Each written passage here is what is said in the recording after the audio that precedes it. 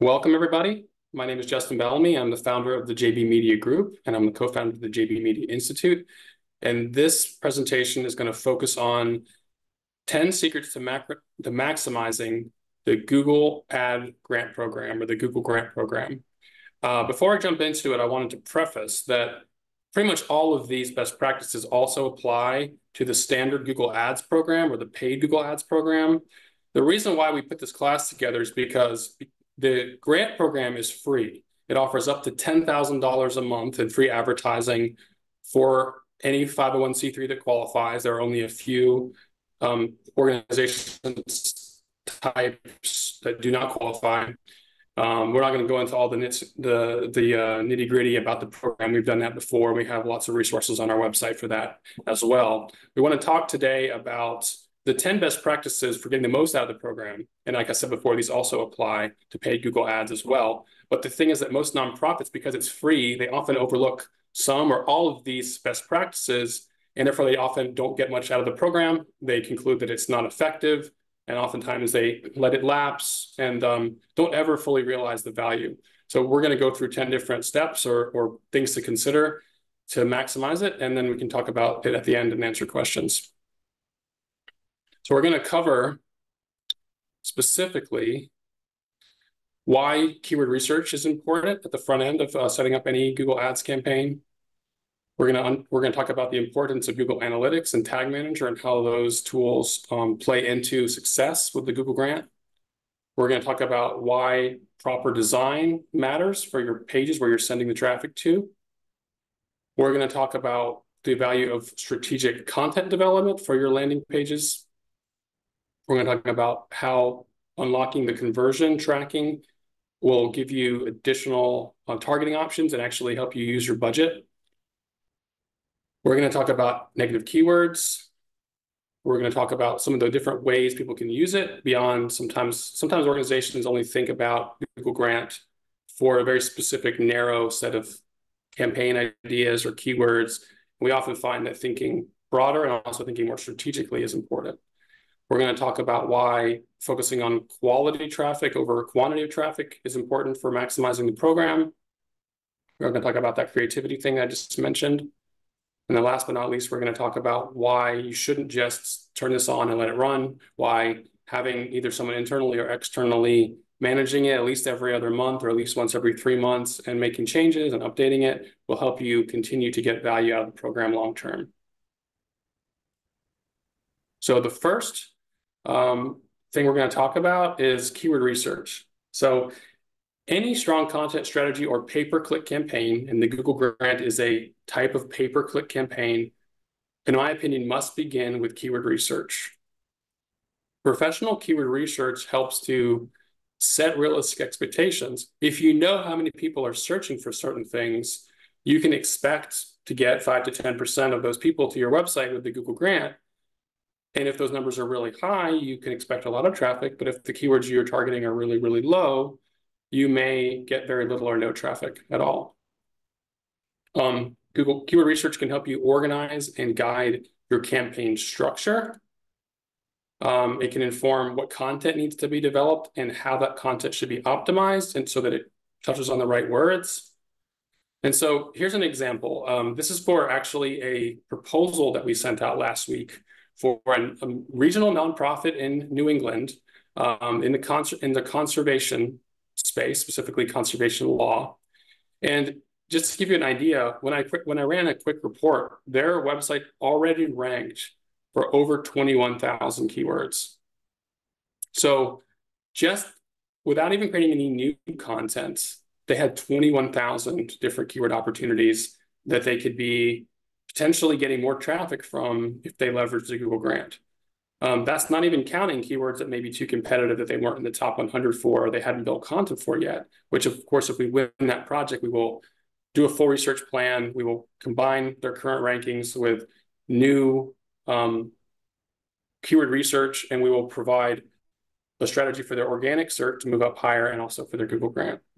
So just wanted to say, like a lot of times you can just start with what you're currently ranking for and anything you're ranking below page two might be a good, good fit for Google Grants, where it might be able to put you near the top with the Google Ads, the free Google Ads. So number two on the list is um, conversion tracking. So it's critical you set up Google Analytics for and Google Tag Manager um, to get the most out of the Google Grant Program. We'll talk about why later, but I just wanted to set that up front. This is an early step that a lot of organizations skip, especially the Tag Manager part. And with Tag Manager plus GA4, they work they work together. Um, GA4 is more of a tag and event oriented analytics system than the previous version of Google Analytics. And so having a tag manager set up, which is another free program from Google, where you can tag, it automatically tags a lot of user activity on a page, and you can create custom tags. And then you can turn those tags into events, which can then be conversions. And then you can actually optimize your campaign for those conversions, we'll talk about later. But because this is technical and requires more technical skills and what I would call like light programming or light development skills, a lot of nonprofits skip this step.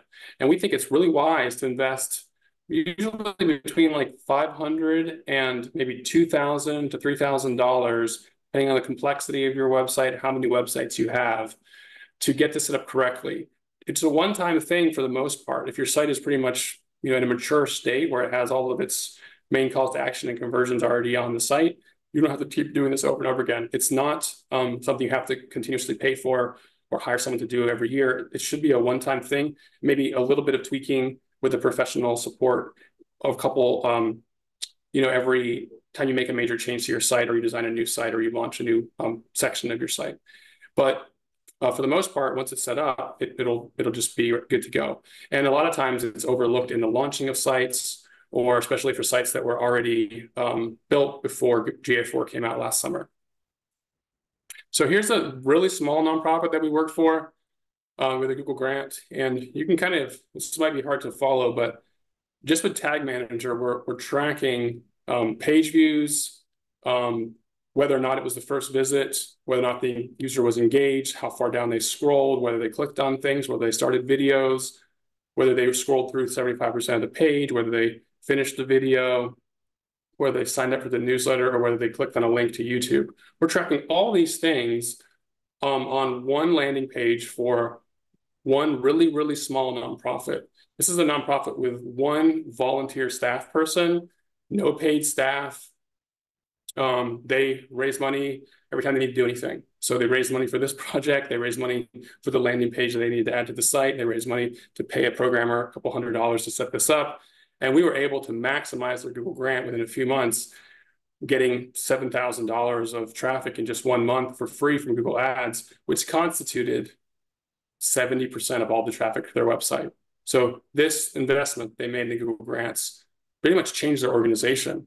And now we've trained them to manage it and they're doing it on their own with the one volunteer. So it doesn't mean a long-term investment, but you have to set it up correctly to get the value from it. And that's really the whole purpose of this presentation.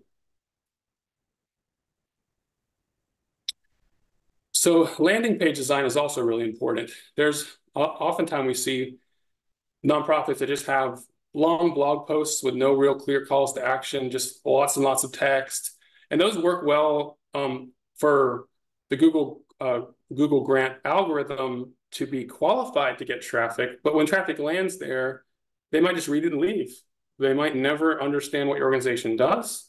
They might not know what free programs you're offering or what free free resources you're giving away or what how to get involved or any other things that are really important for your marketing and for collecting email addresses and for building your audience, which we'll talk more about later. So building the landing pages, and you can just really just design one template and reuse it over and over again. You can even, we've done this for a lot of clients, we've redesigned their blog templates or their landing page templates of their entire website with one redesign so that all the pages have appropriate information about the organization so that anyone who lands there kind of basically learns the basics and knows what the next steps that the organization wants them to take are.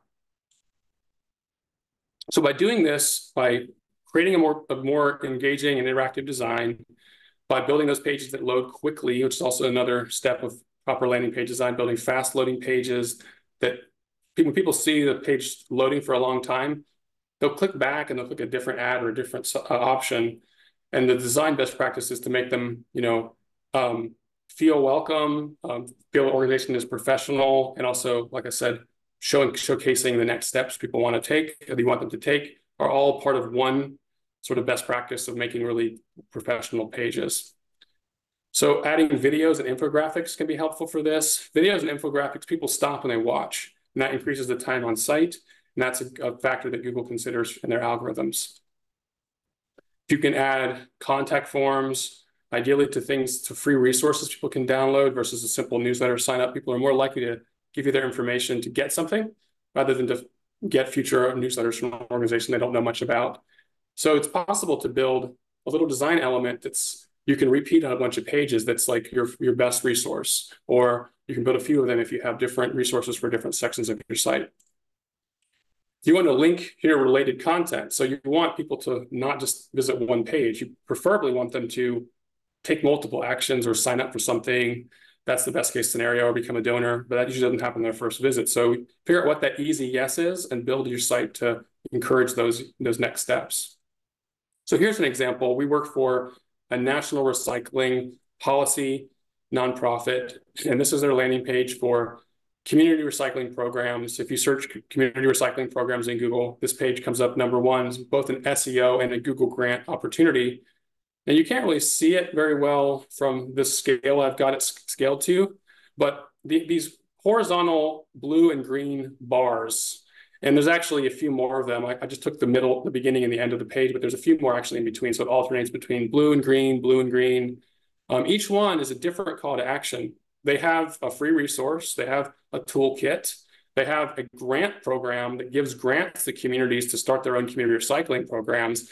And then they have um, a free like resource library for this for this industry or segment. Um, so as you scroll on the page, every after every major section, there's a, a, something, there's an action you can take. Um, you can sign up, for, you can download the free toolkit. You can go learn about the application program for the grant. Um, you can get, put yourself on the waiting list to, for the next grant application cycle. You can um, down, you can join their online community where there's a library of resources and other people who've launched community programs. Basically, three or four things you can do, which are related to this page, which is a guide or best practices overview of creating a community recycling program. So the giving away free education and giving really clear direction on what hopefully people who are interested in this can do. And the different calls to action kind of relate to different audiences. So sometimes a HOA president wants to create a program for their HOA or their apartment building. Other times it's a community activists at a nonprofit that wants to do a community recycling program and spearhead that. other times it's a government person working for the city or county who is tasked with rolling out and researching a community recycling program. The different calls to action are relevant to different audiences. And so the table of contents at the top helps people find the content that's relevant to them. The call to action below that is relevant to them. It's all really well thought out, strategic. This is like a three month process planning this out, creating this content, getting it up. Now it's number one in Google and they're getting, you know, they're getting all the traffic for this topic.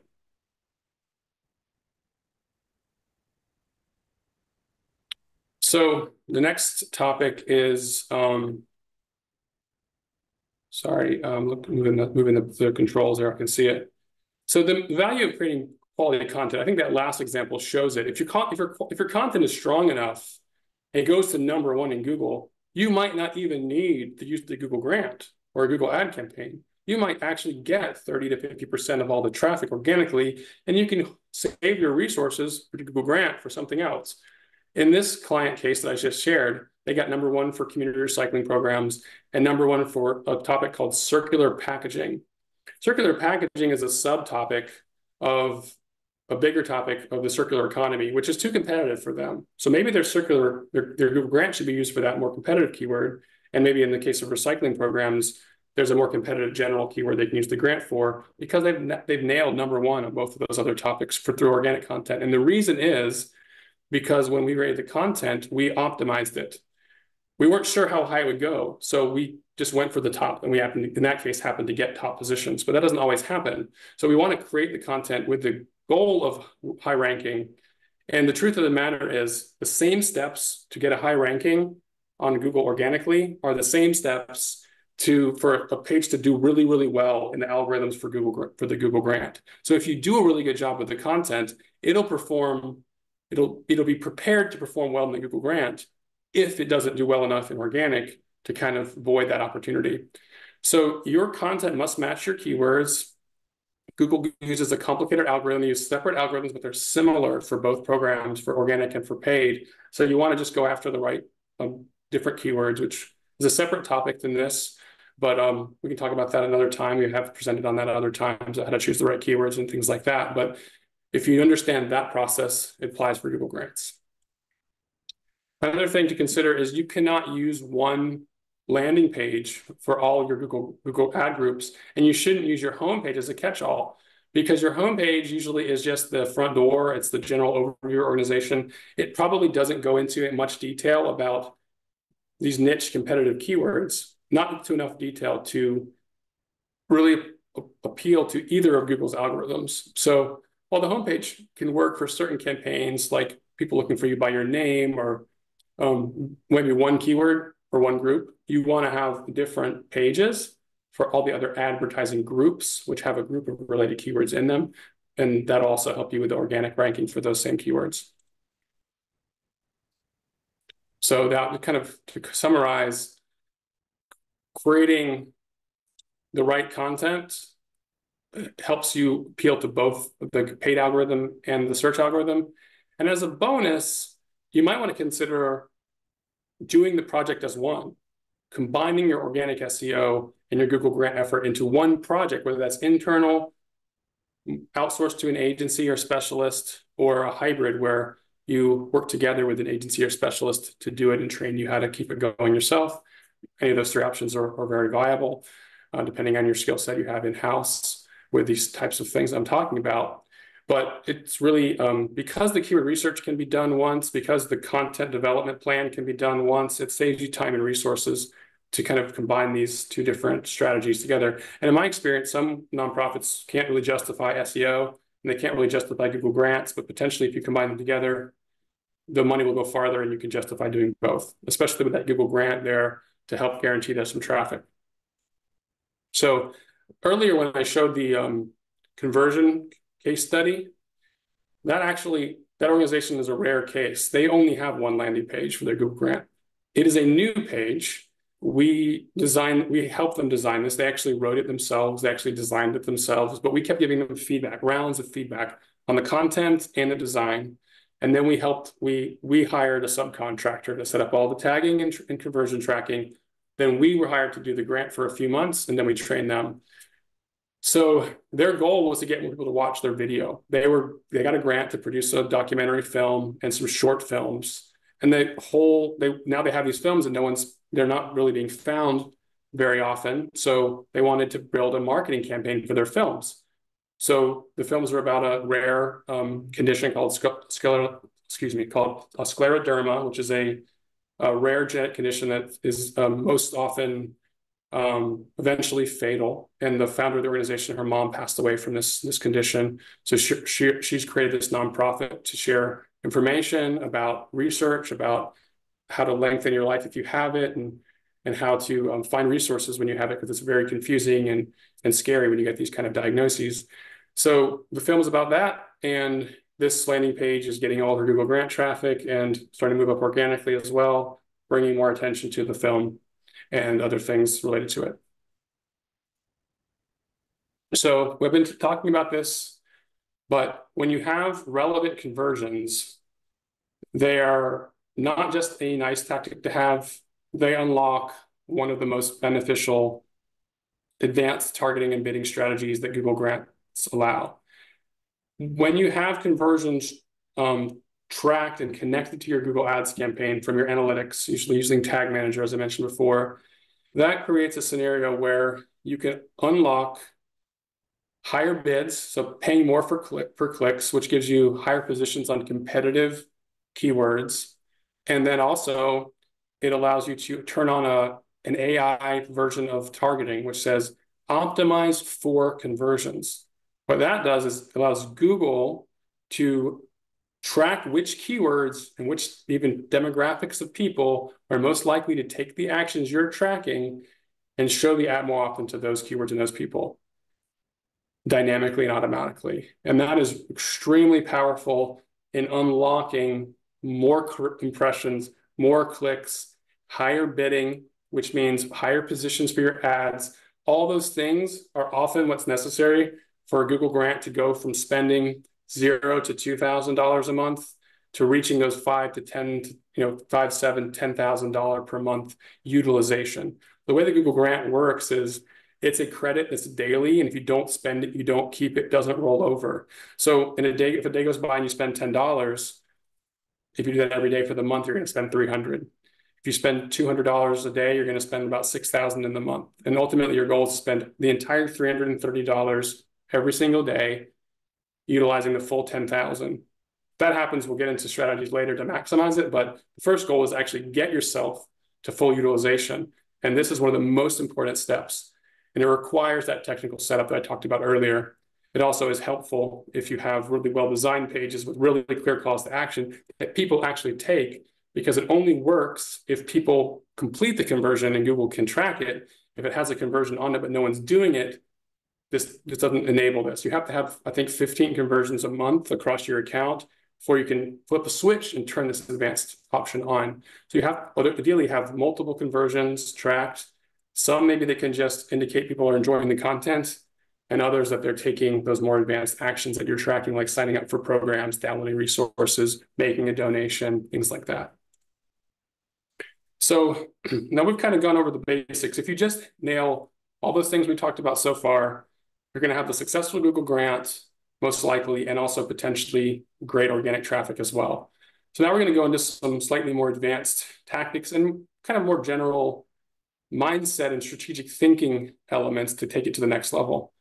One of those is to build a negative keyword list. So it, because the Google Grant is free, most organizations and even some professionals that I've seen, actually quite a few, default to what I consider lazy Google Ads optimization.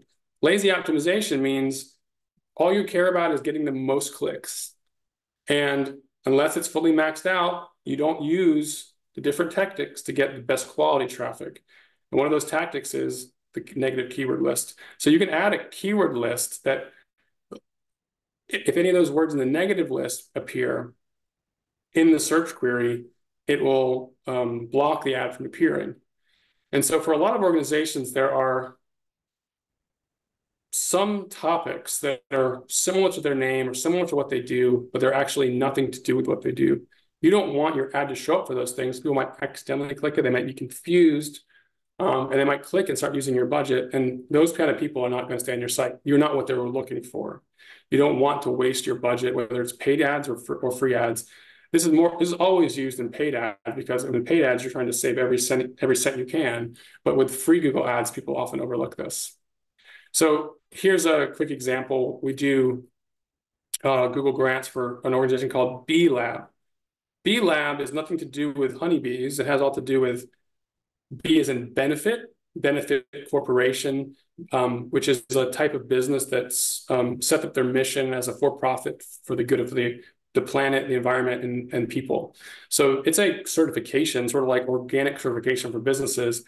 And there are a lot of keywords that are kind of interestingly similar. A lot of them have to do with with um, bees and other things like that. And there's other uh, lots of others as well. This is I just took a screenshot. It happened to be a section of their negative keyword list that had a lot to do with bees and also keywords related to like free and cheap, which we just want to eliminate because they're really wanting to get people there for their educational content, starting their certification program, um, downloading their resources, things like that. So this is just a list.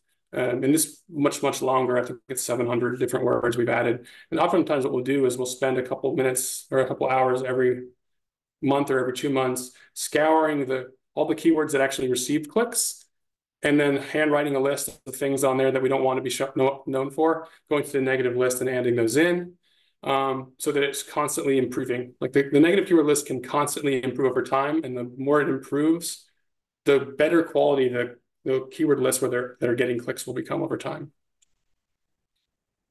So now we're talking a little bit more about how to use the program.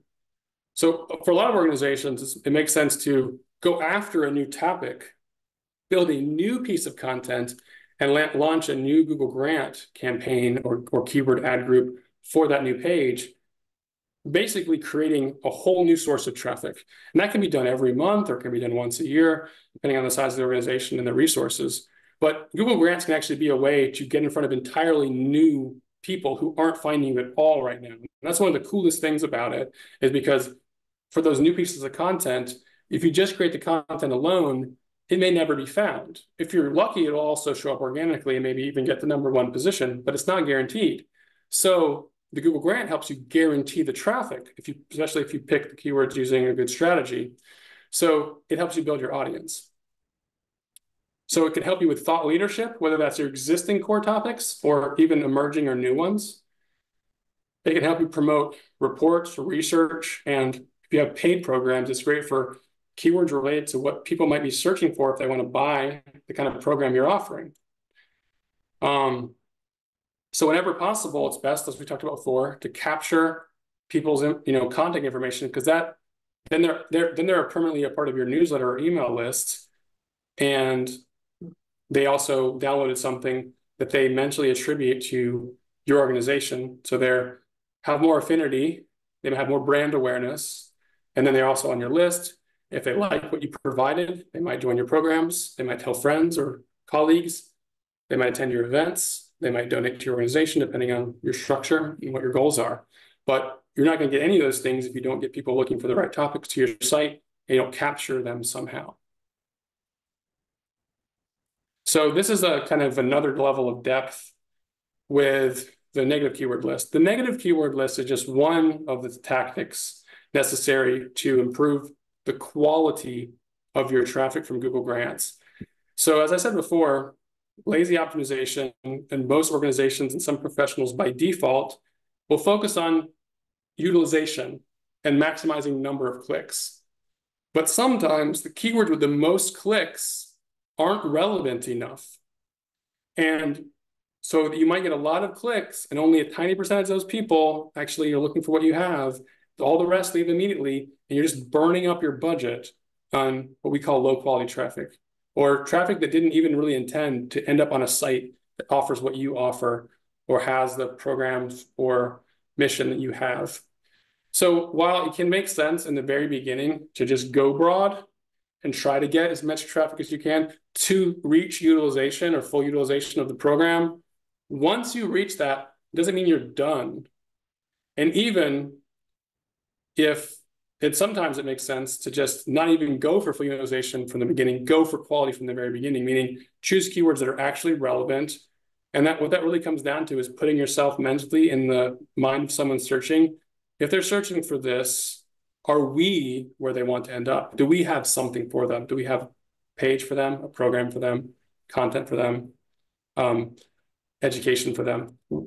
Why would they want to be on our site? If the answer is they shouldn't be on our site, you shouldn't target that keyword. There's no value. Even though you might get some free traffic, you're just burning up your web resources. You're, you're burning up potentially staff time if they ask inappropriate questions you have to respond to, um, or you know all the other things that can come along with traffic you don't want on your site. Um, so you want to go for quality over over um, quantity, and qual both within number of clicks and also how to utilize that budget, that free budget. So one other thing you can do is as you're starting to run campaigns and keywords, you have lots of stuff happening in your account.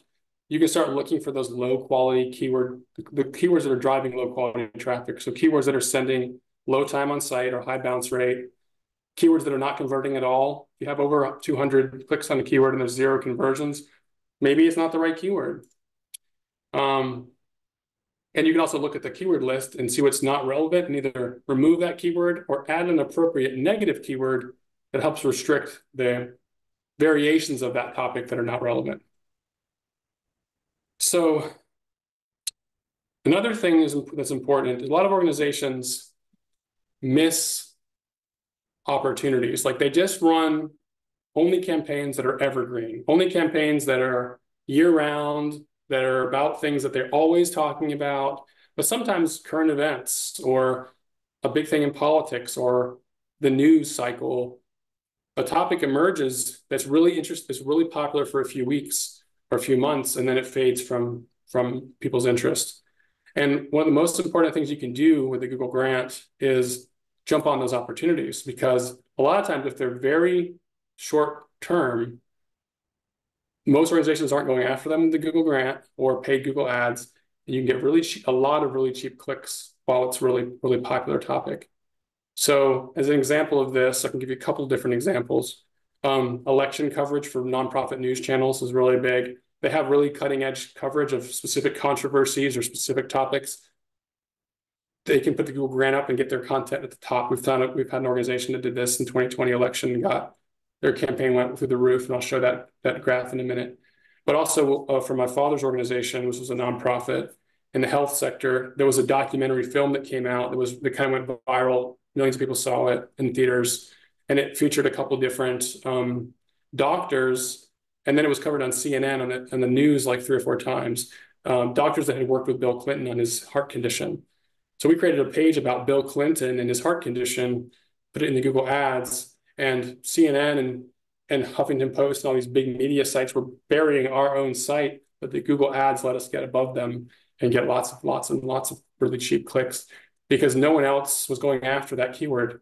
No one else had a commercial reason to we happened to have all the those doctors from the documentary and from the interviews on our in our conference. And so if you want to come learn more about how Bill Clinton healed himself, best place to do it was our conference. We're the only conference with all the doctors that were in the interview in one place. So don't just set it and forget it. Uh, launch new campaigns for new initiatives, programs, partnerships, time-sensitive issues, mainstream news, political events, seasonal events, things like that. Um, and here's an example. So this organization was kind of running along pretty steady, uh, getting, you know, um, a couple hundred clicks a week, a little less than a thousand. And then all of a sudden around the election, they went way up. Their usage of their budget didn't really change very much. The yellow line is budget, the blue line is clicks. You can see that their clicks went through the roof for a couple of weeks and then just came back down. This was all because they went after some news related time-sensitive topics related to the 2020 election and their coverage of it for Western North Carolina.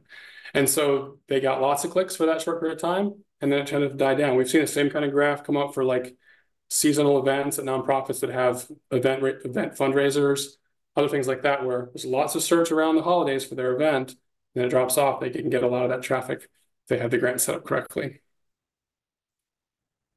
So last one, I think this is, um, you don't want to just kind of going along with the last one. Not only do you have short-term opportunities, but sometimes your long-term priorities change. Sometimes you, you know, change your mission. Sometimes you launch new programs or sunset old programs. Sometimes your whole goals can change. You want to adjust your strategy for Google Ads and for for paid search anytime those change. So you want to have a process where someone is taking, you know, at least once a year, ideally three or four times a year, taking a look at those things and um, and making those changes. Also, if you don't make any changes for 90 days, if no one logs into your account for 90 days, Google will automatically pause it.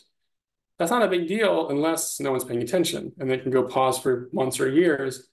Um, this often happens when the person managing it leaves and they don't train the new person or no one remember that they were managing this program and that goes dormant or things like that can happen. Or some, some organizations use interns or volunteers to manage it and then those people leave and then no one manages it. And then even if it's set up perfectly, after 90 days, it's going to just turn itself off and you can turn it right back on.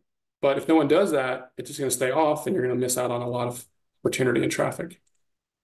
So that's my whole presentation. Uh, looks like we have a little bit less than 15 minutes left. Um, would love to um, take some questions. Justin, we've got one question in here from Peter. Um, could you just, uh, I'll pull the link and share it, but can you share a little bit about the sign up process? Like, what do they have to do if they sign up? And I'm going to share the link for how they can um, go and check it out. Yeah, sure. Um, I'm a little bit removed from the process right now, but um, I've been following it because it's changed recently. And uh, we have we've been testing the new process, and we have some new clients that are going through their sign up right now. So it's a several step process, but it's not that not very involved. It's you don't have to write a grant application. You just have to confirm your eligibility, and that's a two step process, I believe. The first step is joining the Google for Nonprofits program. Everyone who's eligible for Google for Nonprofits is automatically eligible for the Google grant. So what you need to do is first is getting get enrolled in the Google for Nonprofits. And I believe it's just like a one page application. You put in um, your your EIN, your mission statement, um, maybe a link to some sort of like repository of annual reports or something like that. I think you might upload some specific standard 501c3 annual reports. Um, and then there's a third party vendor that verifies that you are a 501c3 and you don't fall into any of the disqualification categories, which are primarily for ho hospitals and higher ed or private schools are two of the main categories that don't qualify. So hospitals that are nonprofits or health providers that are non nonprofits that provide paid health services or schools that sell um, that charge students, whether those are you know private from like private preschools up to private colleges, those are not not eligible. But you have you don't have you the, the third party verifies that based on your application, which is primarily just the things I just mentioned. And I think you have to like put in a little maybe a, a paragraph or two how you plan to use the program, which is just like a list of the things you want to promote. It could be topics, it could be programs, it could be offerings, it could be content, education. That's just, you know, I think usually less than 300 words. Um, that's the way it used to be. It may have changed a little bit, but once you're approved for Google for um, nonprofit program, then you're um, you can set up a Google grant inside of there, and you have to create a couple of ad groups and a couple of campaigns and a couple of ads, and then you request that to be reviewed, and then once that's approved, you can go and start making changes and expanding the program. But it's basically two two two major steps. There's a waiting period while they're they're verifying it they just changed verification providers, so that's slowing things down. There's also, it seems that there's less staff at Google Ads. Um, so there's less people, like they're a little bit less responsive to questions or concerns or when things kind of, uh, when you get rejected for an unknown reason. And they can reject you for if your site has, is super slow or has malware on it or other technical things. And that's often the hardest to, to diagnose. That's usually when we bring in advanced outside uh, support for our own team when we see that. It's happened a few times this the last 12 months, at least two, where a nonprofit was rejected, not because they weren't eligible, because their site didn't meet some quality guidelines. And hey, I just wanted to share um, with everyone in the chat. I shared the link um, for how to get started. I shared the eligibility requirements. And I also shared a great video that Google put out about how to get started, just to give you some more detailed information. Um, the next question we have is from Eric. He just wanted to confirm that a 501c6 nonprofit, like a CVB or DMO, are they eligible or not eligible for this type of thing? They're not eligible. No, no exceptions. Well, I will say with CVBs, however, um, we worked with a few CVBs not to do it themselves, but for the CVB to provide resource support for their largest tourism nonprofits in their community to get the grant. Because the grant can be used to promote general tourism keywords like things to do in your region, things to do near the ne next city over, things like that. And so we've done it for arboretums, for museums, for aquariums, for heritage areas, for botanical gardens, um, for historical associations and also regional nonprofits that are 501c3s, which like most heritage areas, which are a lot of those in the country, state or federal heritage areas are, are eligible. And so we often do it for those organizations directly, but in two or three cases, we've had a DMO that said, why would we want to spend $10,000 on Google Ads when this flagship nonprofit can receive it for free? We will grant them a little money to run the program, and then we will guide some of the strategies so it benefits the DMO as well. So the DMO can like help produce some new content for the nonprofit site that maybe is a summary of things to do in that area, featuring that organization first, but also linking back to key pages in the DMO website, like you know maybe the whole um, outdoor activities section or the whole um, downtown guide for that that destination or region, there's a way to get the traffic to the nonprofit, let them benefit from it first, and then feed some back to the DMO. But it, the grant actually has to go through the nonprofit, the 501c3. Great, thanks. Eric was just thanking you too in the in the Q and A. Um, we have Rose from Conserving Carolina um, she was saying that it seems like the examples that you give include a lot of organizations that have an educational or an advocacy mission, often nationwide. Um, when she thinks about Google Grants, she mostly dismisses it because she's not sure what they would use the traffic for. They want web traffic interested in local conservation projects, programs and volunteering. Do you see that Google Grants could be potentially valuable for smaller, more regional or local organizations like that? Potentially, it all depends on if there's enough search for those keywords in your area and how big of a geographic area you feel comfortable targeting. So the client we just I showed in the keyword research example at the beginning, they're a multi-state conservation organization out of I think Massachusetts or I believe they're out of Boston. And so for them, they're like targeting, you know, Massachusetts, Vermont, Maine, a few other states. There's plenty of search up there for the, and they're also covering a lot of different categories of conservation. They do ocean stuff, they do plastics, they do um, zero waste, and they do energy. And so for them, it's like super easy to utilize the whole thing. Lots of relevant topics, not even including volunteerism. Um, if you're in a bigger city but a small region like Asheville, there is enough search for conservation and enough search for volunteering for it to make sense. You might not use all the grants, um, but you also can use it to tap into when there's like a like a disaster, like let's say Duke Energy spills some pollution and there's a bunch of people looking for it. You can target that and you can get a bunch of people to join your organization all at once, get on your donor list, get on your your subscriber list. So there are definitely uses for it. You just should have realistic expectations. That's where the keyword research comes in. You can get do the research and get a clear idea. You can spend maybe a thousand to two thousand dollars on research, and then you can know if it's worth the time to set it up because you know how people are searching for your th- your topics in your region. If you're in a really rural area and you're only doing like a county or a few counties, it probably won't make sense. But if you're near a city with at least thirty or fifty thousand people, it might make sense. It just it's not a yes or no. It's like a it's worth exploring, worth looking into kind of a thing. Great. Well, we have a few more minutes. So if there's any, and Rose was just saying thank you as well. If there's any mm -hmm. other questions, feel free to drop them in the chat or um, drop them in the Q&A, and we are glad to answer them. One question I just wanted to throw out as we're wrapping up, Justin, is, you know, you were just kind of alluding to the idea that sometimes you have to sort of investigate before you decide that this is the right thing. Do you have any yeah. tips for people on how they sort of investigate? Um, I mean, again, I shared the links, um, but you know, I was talking to some of the other JB Media Group team members, and I know um, Peter was suggesting that it's worth it to go and sort of look at Google Grants and watch some of the stuff they have.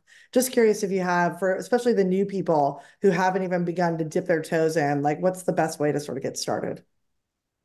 Well, if you're in the category of I don't know if there's enough if I'm if if you're an organization that's like in a small region in a non very populated region and you're or you're on a really really niche topic you can you, the, the question is is it worth it to put in the time and resources to to to set up a grant and then manage it? And the step to do that is actually keyword research like the number one you know best practice number one in this presentation. And that is if you're on the fence about it it's relatively hard for a novice researcher to, determine uh, like if it's a good fit or not because most novice researchers don't think broadly enough or do the right strategic lenses to like identify all the opportunities um, and keyword thinking about keywords if you're like embedded in an organization you usually think about them in a pretty narrow sometimes a restrictive way. So it may make sense if you think it might be worth it and you have a little bit of resource to outsource the research, which is a, you know, like I said, can be a one to two thousand dollar project. If that's too much money, then you might not be able to make the, a really uh, professional uh, decision. You have to maybe do it yourself. Um, part of that is also having the right tools. So we have professional tools that cost like two hundred dollars a month to use that we can use for our clients. Um, and that allows us to get all the data that we need to make those decisions. Without those pro tools, it's very hard to get the, enough data. Um, Google has some free tools for people who are already inside of Google Ads. So if you set up an account but don't take the time to actually build it out, you can use their tools, which are pretty helpful, but they're not as useful as the ones we use. We use a tool called Ahrefs, which is A-H-R-E-F-S dot com about $200 a month, super, you know, geeky data analytics for research.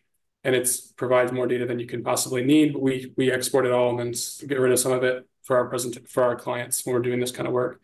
If you're national and you have topic people are looking for, it's almost always a, good fit. Regional, some fit, you know, in between, yeah, yes and a no, and research can be helpful.